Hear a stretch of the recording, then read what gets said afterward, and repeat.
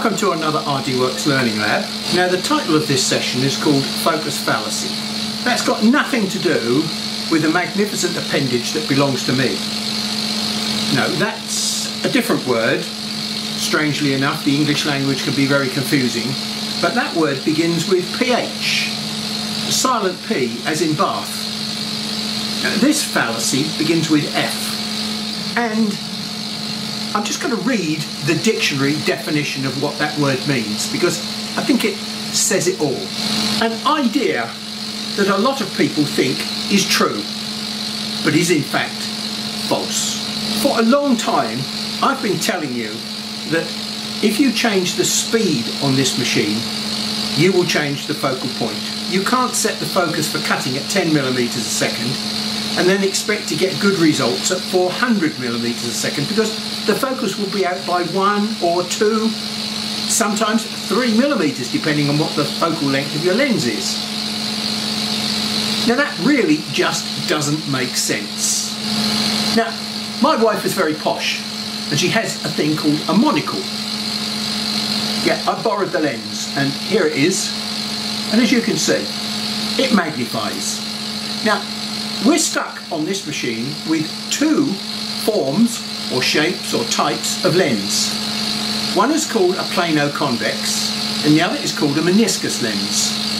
Now both those shapes are sold to you with a focal point and you can clearly see that focal point if you look through the lens you will find that things are only crisp and clear at one particular distance away from the lens. That's because the lens is designed with a fixed focal point. So if the focal point is fixed, how can it change when I change speed? Always been a bit of a puzzle to me. Now the work that I've been doing recently, trying to understand the mechanism by which lenses cut, has been extremely revealing. Once I understood what, how that mechanism works, all sorts of other problems that I've noticed in the past seem to fall into place. Hmm. Focus is one of those.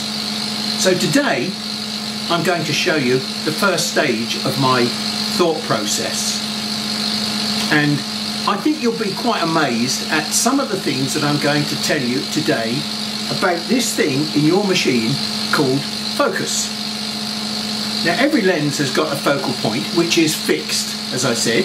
Now today's session is all about proving that that focal point is not fixed. Today I'm going to prove A, that speed does affect the position of the focal point, which is impossible because it's fixed in the lens, but hey, I'm going to do the impossible. I'm also going to show you that power can do the same thing. So speed and power can shift your focal point. And then something that will amaze you and you've never thought of before is the material itself can change your focal point. If you swap from one material to another, it'll have a different focal point. So there are three variables on this machine that cause the focal point to drift around. And it doesn't stay at the fixed focal point that the manufacturer designed it as. It could be a very boring session because I'm going to do lots and lots of tests. I'm going to do all the tests and then we're going to look at the results. But first of all, I'm going to show you what the test is that I'm going to do.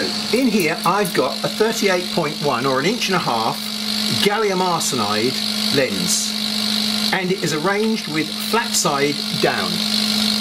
Now I've measured the dimension from the tip of the nozzle to the face of the lens and it's 10.3 millimeters inside the nozzle. Now this is a 38.1 millimeter designed focal point. Subtract away from that the 10.3 that's hidden inside the nozzle and what's outside the nozzle, i.e. the gap that I'm going to have to set to the work, is 27.8 millimeters. Here I've got my little gap gauge, but it only runs up to 20 millimeters. So I could be in trouble. Here I've got a piece of 10 millimeter thick acrylic and when I put the two of these together I measure up at 27.73 which for the sake of a couple of hairs we're not going to worry. That's 27.8. You've probably all seen me doing my focus test before. Now I'm going to work in roughly the same place on the machine all the time, which is about the middle of the work table. My normal way of setting this machine for the focus test is to step down by four millimeters. One, two, three. I'm going to step down by three millimeters in this case, and we're going to settle on a nice round number 15 millimeters. I've set that gap now three millimeters into the work. And what I'm now going to do is run my focus test which drops down by one millimeter at a time. I'm trying to find out whether or not this test will tell me where the focal point is. And normally we look at the focal point as being the thinnest line that we can generate. I'm not going to bother to extract because you know that's going to cause a lot of noise in the background so we'll just accept the fact there might be a little bit of smoke so I'm running this test at full power for this machine which is roughly 70 watts and I've got a speed of 400 millimeters a second which is what you would want to do normally for normal engraving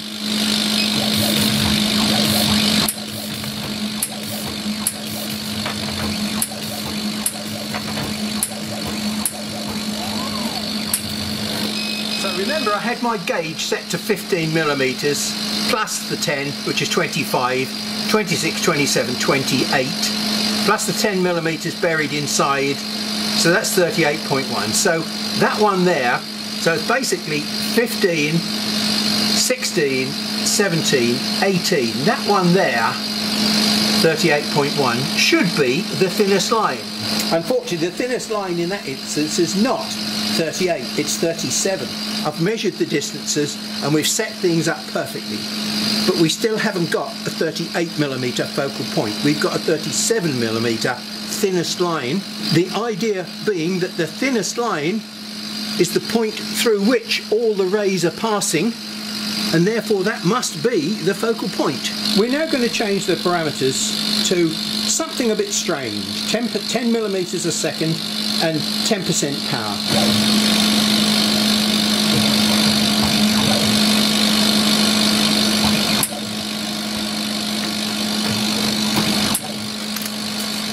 Again, at every line, the table drops by one millimetre.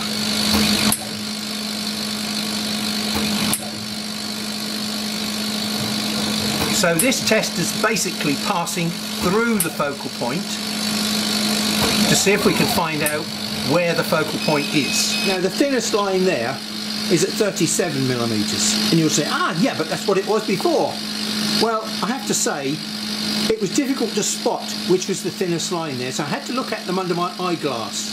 And when I looked at those under the eyeglass, and then looked at these under the eyeglass, I'm afraid I had to come to a slightly different opinion. I made a mistake. So it's 36 millimeter focal point at 400 millimeters a second, and 37 millimeters at 10 millimeters a second. Does it really mean to say that it's 37 at 10% power and 36 at 95% power. I haven't got enough information to determine what the problem is because it could be either, both or a combination. I've got to add another test into this set to see if I can separate out what is happening between power and speed. So here's the plan. 10 millimeters a second, 95% power. Now this is much more cutting parameters lots of power and a speed to suit. Now the speed in this instance is probably a bit slow for this material that I'm cutting but hey we'll just produce a lot of smoke and we'll live with it.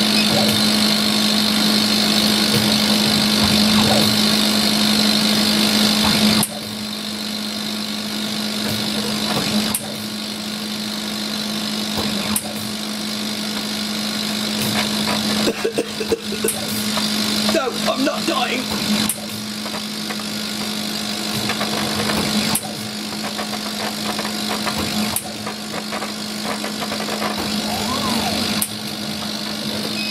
So there we are. In that instance, it's 36 millimeters. Okay, now let's just think about all the materials that we could use on this machine. And I'm not going to list them all, but just for example, slate, glass, um, this, which is HDF, which is high density fibre board. We've got MDF, which is medium density fibre board. We've got various types of card. We've got anodized aluminium. I mean, I'm going to go away and find as many materials as I can to carry out these tests with. The one thing I'd like you to just think about here for a moment is although we've shown clearly that the focal point is changing by one millimetre because of some factor, now that factor cannot be the material because we've only got one material here. So that factor in this instance must be either speed or power that's causing the focal point to change. Now I know the focal point cannot change. It's a fixed entity within the lens. So something else is happening. But at the moment we do not understand what that something else is. And this is part of the testing to try and narrow down and point towards what it might be. Now, the thing about a focal point is it's the point through which all the rays supposedly pass. And therefore it is the thinnest point in the beam. The focal point should create the same line thickness regardless of how it's moving around. Now we haven't established why it's moving around at the moment, but the, the fact that it is moving around is very clear. Remember the definition of a focal point is the point through which all the rays are passing. And therefore, that's where we should find our thinnest line. We found our thinnest line here at 36. We found our thinnest line here at 36. We found our thinnest line here at 37. The only problem is that the thinnest line there at 37 is not the same thickness as the thinnest line here at 36 or the thinnest line here at 36. It's pretty obvious, look, that these lines are substantially thicker than these lines. Using conventional focal point theory, that is totally illogical. That's something I've known for a long time, but I haven't been able to easily explain. And that's what we're in the process of trying to zoom in on over this and the next session as well.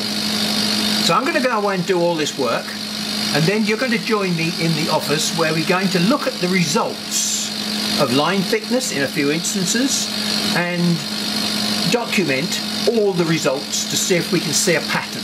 Well, I'm not going to bore you with measuring any of this stuff. What we're going to look at is the way in which various beam intensities affect the material because this is something that you won't have seen. Now what we're looking at here is the surface of a piece of extruded acrylic. Let's look at the dots on the surface here. Yeah, they're pretty well focused. And let's go back and look at that again.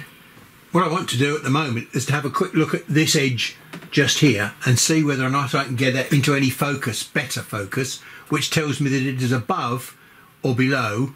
So if I drop it down, it's going out of focus. So it is pretty well level with the surface of the material. I'm now going to raise the table and we're going down into the groove.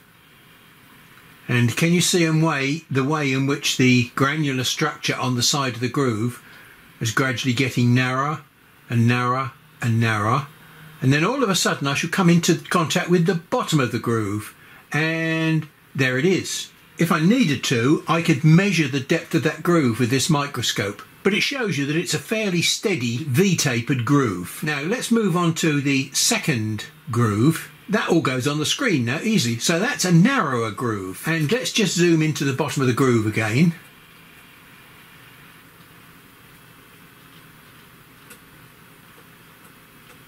and there it is. One, two, three, four, five, six, seven, eight, nine, ten, eleven, twelve, maybe 13 turns. Okay, so let's move on to the next one. Should be a wider groove than that. And yes, it is. And then we'll go for an even wider one. And we'll go right to the end groove, the last groove, because I want to look at that last groove where we're probably what three or four millimeters out of focus, five millimeters out of focus, I think. There we go. So we're right on the surface of the material now, and you can see how granular the structure is on the edge of the groove there. Now, I'm going to move the table up by just a small amount. And wow, look how quickly Let's move across because this groove is too wide to see in one screen. So there we go. Let's look at the middle. And we see the middle is less than one turn. It's a very shallow groove. But look at the structure of the material in there. How uh, I don't know whether that's bubbles or they some some of these things definitely look like little bubbles but it's a very open, very strange, big granular structure. Let's go to the next one where we used very slow speed but very high power, 10 millimeters a second, and the power was tremendously high. So let's look at the last groove if we can find it. Let's just bring the edge into focus. Let's move to the middle of the picture. I'm going to go one, two, three, four, five, six, seven, 8, Nine. 22. So that's very deep, but look at the structure in the bottom. It's not that granular structure. We have literally evaporated the material and left a fairly coarse grain structure behind. This looks as though it's got surface bubbles on it, which means that it has melted and then resolidified. This was done with full power very slowly. This may be five or six millimeters out of focus. So that's 10 millimeters a second at full power, 95% power, which is more or less 70 watts. We'd look at the worst one with 10% power and 10 millimeters a second. So all we've got there is bubbles. I'm less than one turn and I'm at the bottom of the groove. Not very deep at all. So let's take a look at all these and you see they're all very, as we get a little bit more closer to the focal point, we're getting a little bit deeper. We've still got that same characteristic. Look, we've got a very small heat affected zone on the outside, but bubbling all the way right to the bottom. Here we go. We're getting narrower now. And what we're finding now is we've got the bottom of the groove about three or four. Look, there's still bubbles in the bottom of that groove there, but there's also some, something else very strange as well, like little scallops. And that's because of, at 10 millimeters a second, the stepper motor is going step, step, step, step, step, and that's what you're seeing. You're seeing the deeper and shallower cuts caused by the stepper motor going faster and slower. That's the narrowest one. So that's our focal line. Let's have a dig into that. So let's raise it up. One, two, three, four, five, six. And we've got those striations on the bottom caused by the stepper motor moving at so when it moves at slow speed the steps are very obvious. That's what extruded acrylic looks like. Let's just compare that to the same results for cast acrylic. So there's the first groove. Sort of slight mix of bubbles and granulation really now we go to the second one which will be slightly narrower ah now we've got that pattern in the bottom again look We've got the 10 millimeter a second stepper motor. Right, let's move to the third one, and that should be a narrower one. Narrower still. So that's the optimum. If we go one beyond that, we'll see it gets thicker. Now we've got a pretty serious. Uh, now I don't know whether that's a heat affected zone or whether that's recondensed acrylic on the surface there. You know what happens when you make steam hit on a cold surface? It recondenses. Well, that could well be what you're seeing on the side there. It could well be boiling acrylic vapour that's hit on the side just at the edge there and it's recondensed in little teeny weeny blobs, little globules. The widest groove, which is this one just here. Look at the very large bubbles or crystal structure in that. And it's only one turn deep. It's amazing the different light intensities is affecting the surface, the rate at which damage is being done. Now, something else that I'm sure will interest you is slate. You normally see slate as being just grey lines if you've ever engraved slate. I don't know whether you know what slate is. um, apart from being grey and on roofs. Basically, it's a sedimentary material which was laid down on a seabed billions of years ago. It's been driven underground under high pressure and then it finishes up coming back up as mountains or something like that as a solid petrified rock. But it's still got layers in it, which is why it splits into slates very easily, sedimentary layers. And the word sedimentary tells you that it must be some sort of sand or fine silt. So it's basically a silica material. When you heat it up, does this. It's actually melted. So it's crude glass. And then we move on to the next line thickness. Look at all the bubbles in there. That's why you see slate engraving as grey. You're not scratching the surface, you're not exploding bits out of the surface, you're converting the material into glass. And that's why it's dishwasher proof if you make slate engravings. These are typical engraving speeds 400 millimeters a second and 95% power. We're now onto very high power, very low speed 10 millimeters a second. The same power, 95%, but 10 millimeters a second. This is a surface bubble, a surface glob. It's melted and it's got all sorts of little air bubbles in it and it's yellow. Alright, so that's a blob on the surface. And this is probably our thinnest line. But look at the material content, all those air bubbles in there. I mean, you would never see this with the naked eye. You'd never imagine what's going on.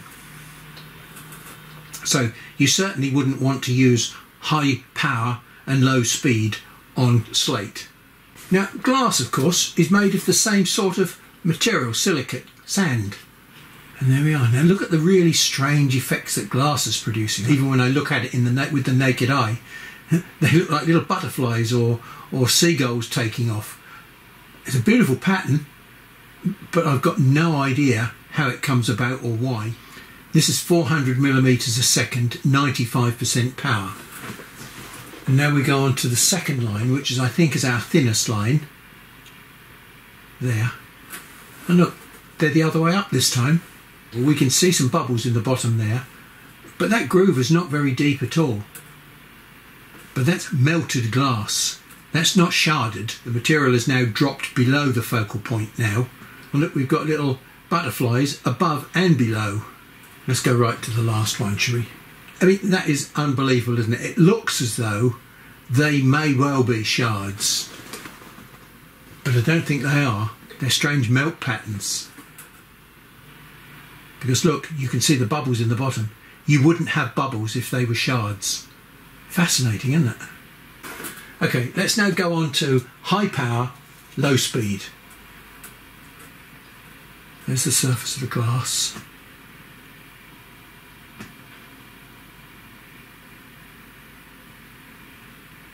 it's just I, I don't know what that is. I can't believe that it is sharding because if we look at the surface, you can see bubbles in there.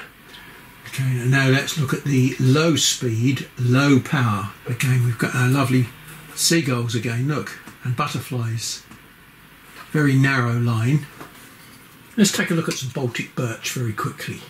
You can see the cellular structure there, which is the white stuff, and then the the slightly yellowy stuff or the brown stuff is the cell walls, with the lignin, which which takes a lot more energy to burn away. Burning wood is basically a three-stage process. You've got to burn away the light stuff, then you've got to burn away the dark stuff because it takes more energy to burn away the dark stuff, and what you're left with then is carbon. And carbon, well, you have to take that above 3000 degrees C before you make that disappear. Now there's our first line. And you can actually see very clearly there the radius on the edge of the cut. So here we are roughly 5 millimeters out of focus. There's the grain structure on the surface. And look what we've got down below. We've still got the same grain structure in the bottom of the groove. All this is fascinating stuff because I've realised that understanding material structure and how light affects it is a very important part of understanding how to mark, engrave, cut materials. Every material is different. Right, so here we are, 38mm gallium arsenide plano convex lens flat down. Now the working range from the focal point for this lens claims to be plus or minus 1.9 millimeters. Ha ha ha ha. We know that even a millimeter puts this thing well out of focus. Focal spot size? Mm, supposed to be 0.05. Now does that mean to say we're able to draw a 0.05 line? Theoretically, if I fire the laser beam at one spot, that means I should be able to produce a 0.05 spot because that's where all the energy is passing through the surface. Do I believe that likely? Absolutely no. Never got closer than probably about five or six times that specified diameter. Now the fact that I can produce a 0.05 or a 0.1 dot with my compound lens has got nothing to do with this focal spot. That's a completely different mechanism producing a dot as opposed to producing a focal spot. So here we've got all our materials that we used, anodized aluminium, ceramic tiles, glass, PET, slate, Baltic birch, etc, etc, etc, all the way down, Beer card, thin white card with kaolin. There's a whole range of material there. I think there's 15 materials that I chose. I've documented the speed, the power, the speed, the power, the speed, the power. So there are my three tests. I've found the thinnest line dimension in millimetres, and the point at which that thinnest line occurred. Now bear in mind this is supposed to be a 38.1 lens. Very few of these happen to be 38. Let me ask these questions in blue. What is the line thickness at the focal point?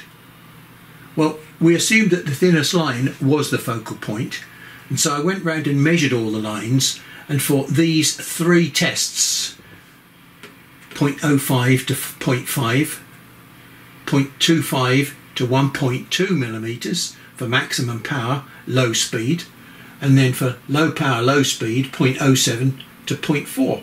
So there's a huge range there. So our lines at the focal point were not the same size and they were not consistent. So the focal point of the lens cannot be what we're witnessing here. We're seeing some other point of focus, which is not a light ray point of focus. And then we ask the question, does the focus vary for different materials?